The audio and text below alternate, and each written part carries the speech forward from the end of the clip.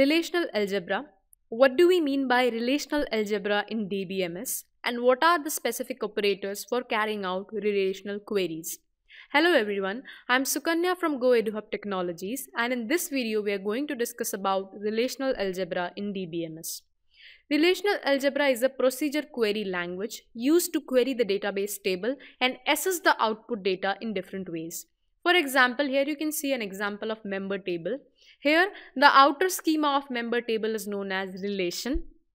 The date of birth is a set of attribute for the entity member. And then the tuple is a complete set of record that is member ID, name, date of birth, which is for example for Mike and his date of birth respectively.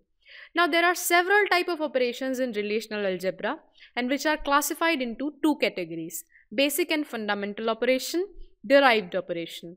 In basic and fundamental operation, we have six type of operation. Those are select, project, union, set difference, Cartesian product and rename. Whereas in derived operation, we have natural join, left, right, full outer join, intersection and division. So firstly, selection operator. Selection is used to select the required tuple rows from a relation or from a table. If you understand little bit of SQL, then you can think it of as where clause which is used for the same purpose. So if you have a table customer and you are using the select operator, customer city Agra from the table customer. So where the customer city is Agra, those entries or those set of tuples will be displayed. Similarly, there is if customer city is Delhi, then the records of Delhi city will be displayed. The next is projection operator. Projection in relational algebra is similar to select statement in SQL. Select is used for retrieval of all the records unless and until some records or some specific column mentioned. Similarly, projection is used to project required columns from a relation. For example, projection operator, customer name and customer city from customer. So only the name and the city will be displayed from the table name customer. Next is union operator. Suppose there are two tuples or two tables you can say R and S and you want to make union. Union on basis of a condition. Now what are those condition? R and S that means both the tuple must have attribute of same number which means there has to be 3 3 attributes in tables the attribute number has to be same for union operation to be performed. Duplicate tuples are eliminated automatically. If any duplicate values are there, then they will be eliminated automatically. So if both the tables are joined, that is customer name, union, item ID on the basis. So this is how the join happens. According to the customer name and the item ID, the union has been made with the help of projection operator. Projection operator we use for the display of it. So until now we have discussed about operators and for more operators we will see into the other tutorial that is set difference operator. Suppose if you want to calculate the difference between two tuples or tables R and S, the set intersection operation contains all tuple which are both in R and S. It is denoted by intersection symbol. So if customer name minus the item name, then you will get the difference between both the tuples. Now Cartesian product. Cartesian product is used to combine each row from one table with each row of the other table. It is also known as cross product in general terms. It is denoted by X. So employee table has Smith, Harry, John and the department A, C, B along with the IDs.